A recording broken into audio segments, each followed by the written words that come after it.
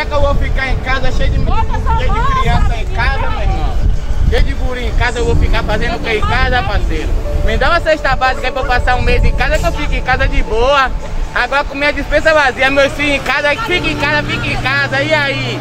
Você é maluco? Não dá pra ficar em casa não, meu irmão. Minha dispensa tá vazia, eu tenho que botar comida pros meus filhos.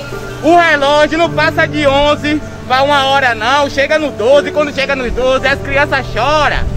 Você tem seu salário bom todo mês, tá de boa. A gente não, depende daqui da rua pra poder levar nosso pão de cada dia pra casa, rapaz.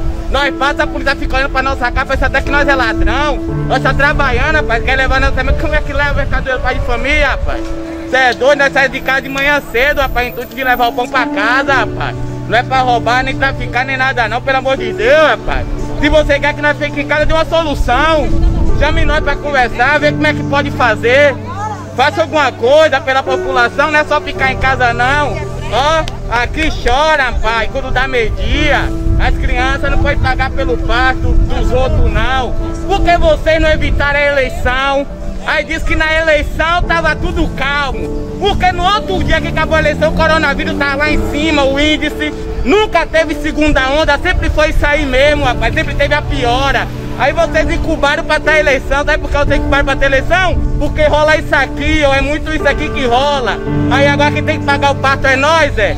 Por que vocês não procuram fazer alguma coisa pra olhar pelo nosso lado? Agora quer vir botar a polícia em cima de nós, parece até que nós é vagabundo, nós é ladrão.